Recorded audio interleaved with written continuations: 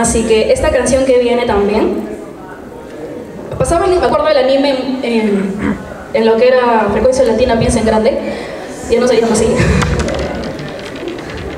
Pero yo sé que se deben de acordar, por ahí en los 97, años 98. Está bien, bien. Pero es lo máximo. Así que vamos a recordar.